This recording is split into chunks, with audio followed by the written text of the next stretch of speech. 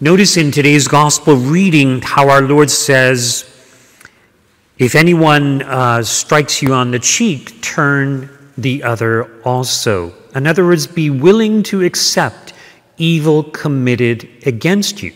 And this goes so against our human nature. In other words, we don't want to be hurt. We don't want to be physically hurt. We don't want to be psychologically hurt. We don't want to be offended. So it goes against our very nature. And yet, this is what our Lord is telling us to do. And it's not an easy thing to do. Now, notice how he begins by saying, you know, you have heard that it was said, an eye for an eye and a tooth for a tooth. But he says, don't resist the evildoer. And when we consider this passage, it's important that we understand it in the context of everything else, because our Lord also says to speak out against injustice. So, in other words, take a situation, you know, a man and woman are married and the husband is abusing the wife, maybe just verbally, maybe physically, who knows, in some way. Should she just put up with it without doing anything? And the answer is no.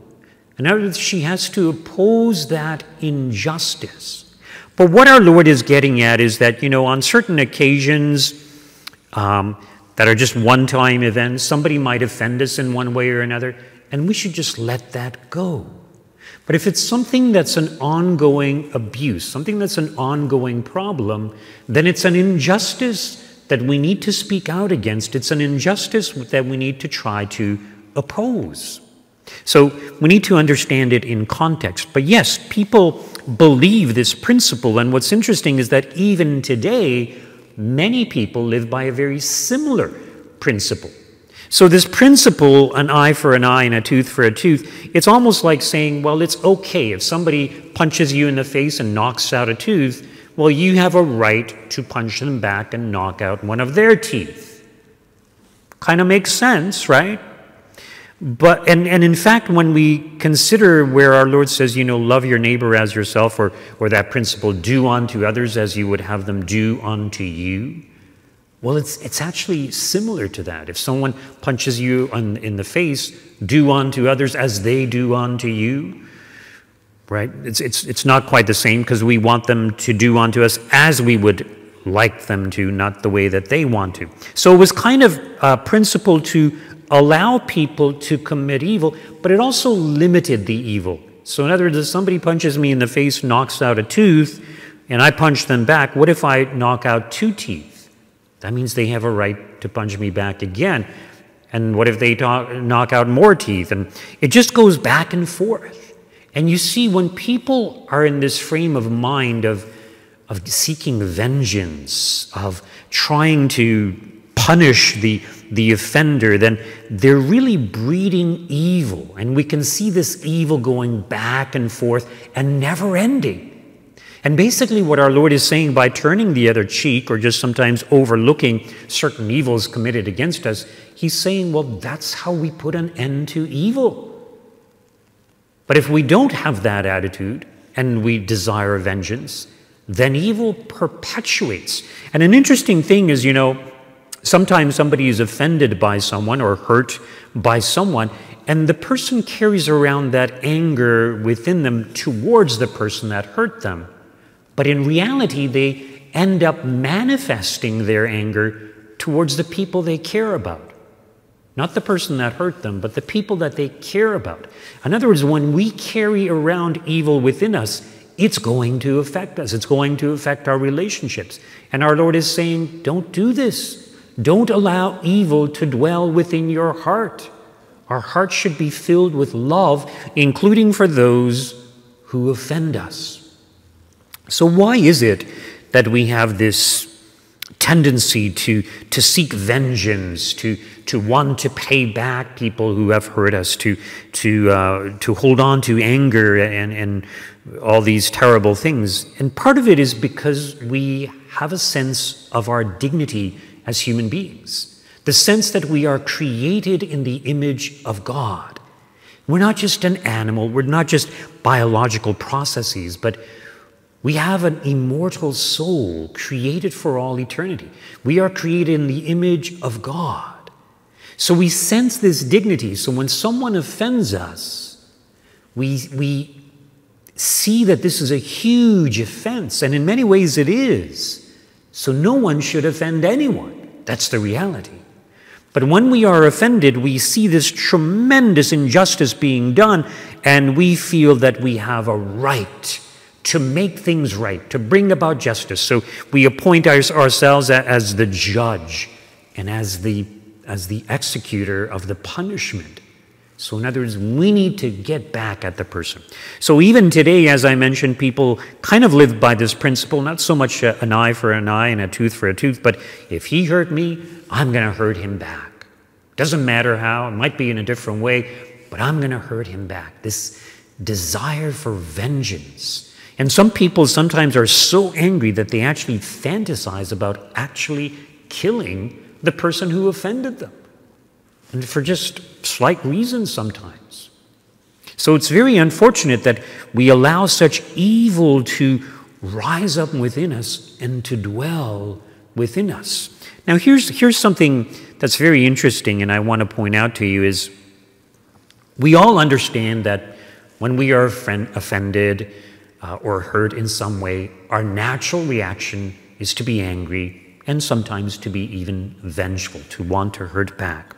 We recognize this great injustice that is done. That's regarding ourselves. But when we see others being treated unjustly, it's like we don't care. I'm not saying everyone, but a lot of people have that attitude. I mean, think, for example, of, of the, the abortion issue. So these innocent children in the womb who are being slaughtered through abortion, do we care? Do we recognize this injustice that is being done? And it's not just the aborted child, but a lot of women who are pressured into having abortions. And a lot of women suffer the psychological problems of having had an abortion. But society doesn't seem to care. Many Catholics don't seem to care. Many Christians don't seem to care. So something horrible happened to these women, and, and they're, they're suffering but we don't care. So great injustice was done. They participated in a great injustice. They're suffering the consequences of it, and we don't seem to care. So yes, when on television people see, you know, people starving in third world countries, we're motivated to help them. But sometimes the things that we cannot see, the evils that we cannot see, sometimes those evils are far greater, but we're so good at just dismissing it and not worrying about it and just going on with our own lives. So, in other words, if we are truly, if we are called to love, if we truly love, then we will care and we will speak out against injustice and do what we can to oppose these injustices in society. And there's so many other injustices also. I mean, even the legalization of marijuana.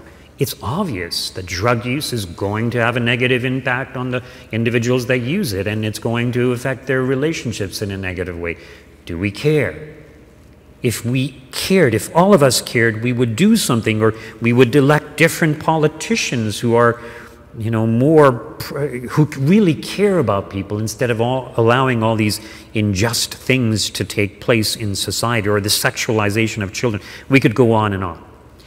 In today's missalette, or in the, in the missalette, the people's missalette that some of you have, there's a beautiful quotation from St. Augustine. And I can't remember it exactly, but I'll try to do the best that I can. And he says that unforgiveness is a poison that we drink, hoping that the unforgiven will die.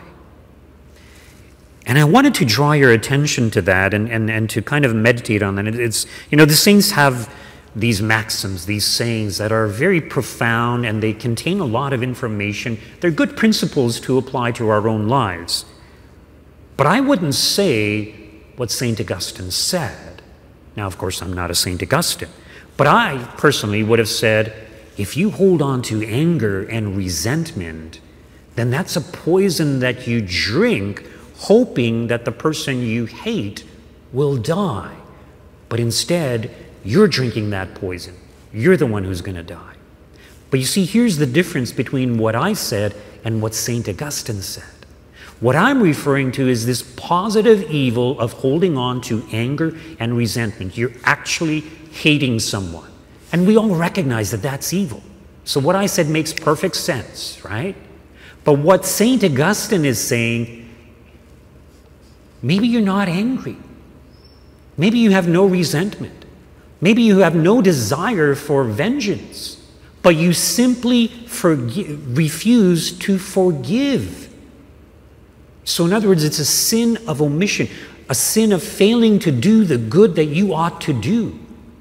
And simply forgiving to forgive is the poison that you drink, hoping that the person that you are not willing to forgive will die instead of you. But you see, when we hold on to evil, we're dying because evil is a poison, no matter which way we think about it, and it eats away at us. And evil, any, any hatred that we hold on to, it prevents us from having the love of God, having the fullness of the love of God within us. And this is something so serious, our Lord talks about it again and again in the Gospels. If we do not forgive, we cannot be forgiven. It's so, so serious. And so, this is something we should really take to heart and, and meditate on. You know, do I hold on to hatred or resentment or a desire for vengeance? And also, am I unwilling to forgive? So, these might be things that we need to work on to try to grow in the spiritual life and become the kind of person that God calls us to be. So, yes, let us put an end to evil in our relationships with others, but also let us put an end to the evil that dwells within our own hearts.